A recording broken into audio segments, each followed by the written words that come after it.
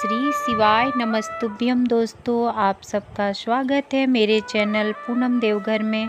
तो दोस्तों, आज ग्रहण का है दूसरा दिन।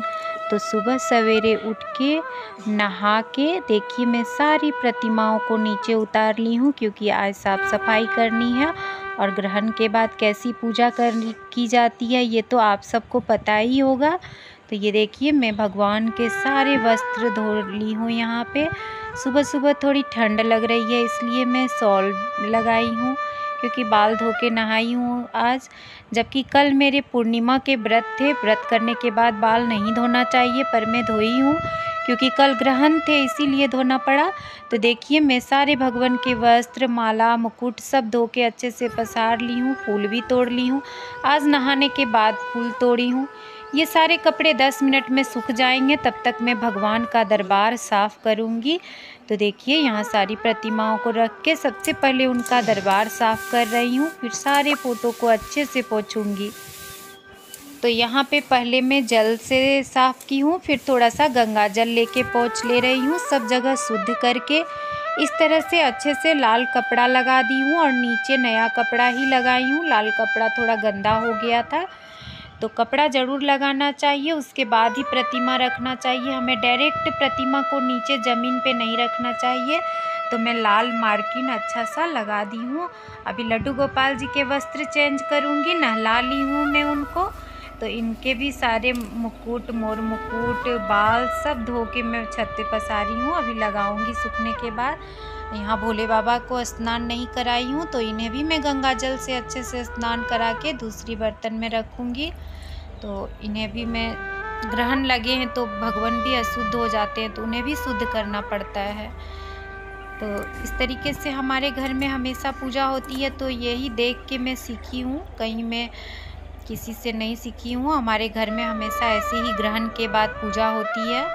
तो देखिए, मैं सब, इस सब में जो चंदन, सिंदूर रखती हूँ, इनके भी बर्तन धो के फ्रेश फ्रेश सिंदूर, चंदन सब रखी हूँ।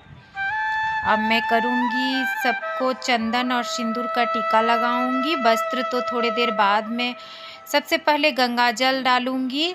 उसके बाद देखिए सब भगवान की प्रतिमा में मैं चंदन लगाऊँगी, देवी माँ को मैं सिंदूर लगाऊँगी। प्रथम पूजा गणेश भगवान की होती है तो पहले मैं गणेश भगवान को चंदन लगा रही हूँ।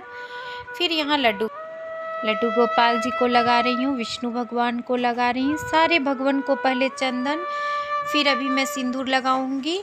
तो देखिए, मैं सब में सिंदूर और चंदन लगा ली हूँ दोस्तों। अभी मैं करूँगी भोले बाबा की पूजा।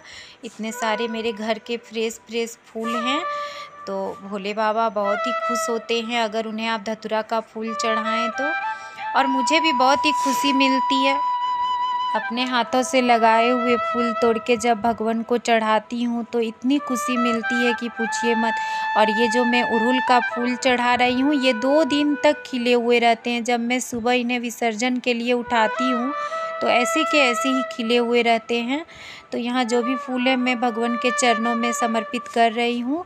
उसके बाद मैं यहाँ लड्डू गोपाल जी को देखिए, भोग लगा रही हूँ। आज है रविवार तो कल ही मैं तुलसी का पत्ता तोड़ के रख ली थी, जो कि आज मैं लड्डू गोपाल जी को भोग लगाई हूँ। तुलसी पत्ता वैसे भी अशुद्ध नहीं होते हैं। तो यहाँ पे मैं सारे शिव परिवार को एक जगह पे रखी हूँ। यहाँ पे ये देवी माँ और जितने भी मेरे भगवान हैं, उनको मैं यहाँ पे रखी हूँ और उधर मैं शिव परिवार रखी हूँ। भोग लगाने के बाद ऐसे दिया जलाना चाहिए।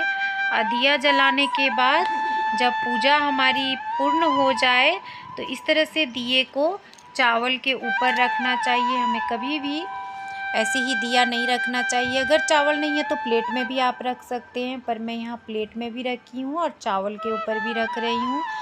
और फिर दोस्तों, पूजा हो जाने के बाद हमें आचमन करना चाहिए जल से या फिर गंगा जल से इस तरीके से घुमा के गोल गोल और बोलना चाहिए, प्रभु जी, मेरी पूजा स्वीकार कीजिए, भूल चूक सब माफ़ करिए भगवान। तो यहाँ पे मैं गंगा जल से कर रही हूँ और दस मिनट तक भोग को भगवान के सामने रखने के बाद इस तरीके से गंगा जल घुमा घुमा के गिराना चाहिए। तो देखिए दोस्तों, मेरी घर की पूजा हो चुकी है अच्छे से और मैं यहाँ आ गई हूँ सूर्य भगवान को जल चढ़ाने के लिए तांबे के लोटे में लाल फूल डाल के। तो दोस्तों, आप सबको आज की मेरी वीडियो कैसी लगी? कमेंट में ज़रूर बताइएगा। अगर अच्छी लगी हो तो लाइक, सब्सक्राइब एंड शेयर ज़रूर कीजिएगा। मिलती हूँ आप सबसे मैं कल की वीडियो में। तब तक के लिए bye bye Radhe Radhe everyone.